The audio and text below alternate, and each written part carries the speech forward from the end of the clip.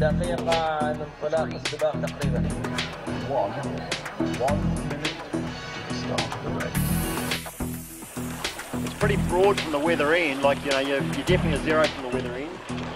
Does look quite a bit closer from down at Black, doesn't it? Pretty light air, so it's going to be um, pretty tricky and the leaders race.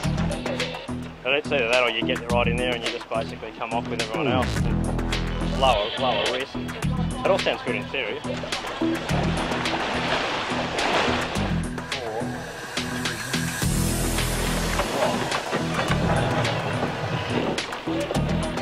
day we had a few ups and downs. We started the day pretty pretty solidly actually. We had a couple of fourths and a couple of wins and then uh, the breeze started to die a little bit and we sort of had a couple of bad ones in there but generally speaking it was a pretty good day, you know, going into the last race well in contention to be leading.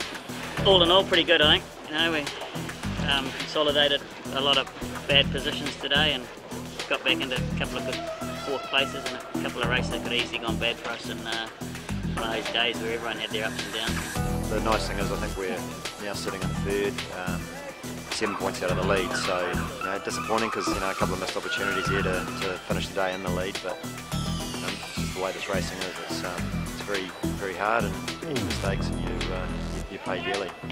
Long long way to go, only halfway, and uh, as long as we um, stay in touch, you know, it's all to play for the last day.